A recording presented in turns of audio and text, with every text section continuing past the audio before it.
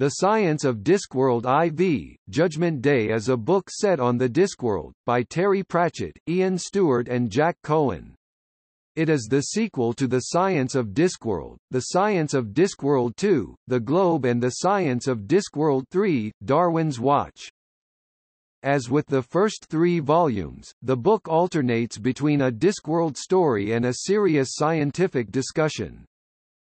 The Science of Discworld series is arguably unique in style, we call it fact, fantasy fusion. The scenario allows serious discussion of solid, current science, without distorting it into yes, pigs really could fly given GM wings or whatever. All three books entered the Sunday Times bestseller lists, and the third made it to number one, so we managed to reach a significantly large audience. Perhaps the most gratifying comment came from a Times reviewer, the hard science is as gripping as the fiction. Which is just as it should be. Professor. Ian Stewart, the title may sound apocalyptic, but the book does not reflect this. Rather, the Discworld story details a trial before Lord Vetinari who will pass judgment.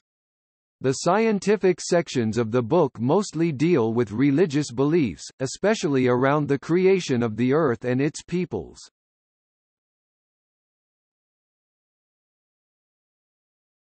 Topic. Plot summary In the Discworld story an attempt to perform a magical feat overseen by Ponder Stibbons results in a magical accident which sees the Roundworld librarian, Marjorie Daw, sucked into the Discworld from her library in England. Meanwhile, the high priests of Omnia see small gods have declared that, since Omnism has always speculated that the Discworld is, in fact, spherical and Roundworld is, clearly, a spherical world though one that is currently in a glass container on a small shelf in the Unseen University it proves that Omnism was always correct and use this as evidence that Roundworld should belong to Omnia. The Wizards of Unseen University, especially Mustrum Ridcully, the Dean now Archchancellor of the new Brazeneck University, Ponder Stibbons and the Librarian reject this, since Roundworld was created by accident when the Dean twiddled his fingers in a pile of raw universal firmament some books previously. The arguments are brought before Lord Vetinari to judge, who ultimately decides in favor of the university.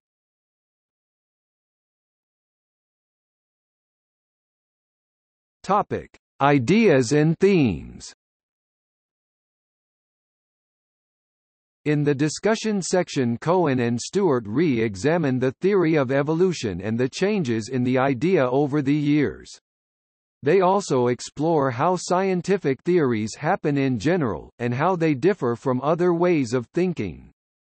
They also point out how many religions have created creation stories some remarkably similar and gods and how this thinking can be quite introspective suggesting that the existence of the universe is purely for the benefit of human beings as opposed to most scientific belief that the universe would still exist even if human beings did not exist.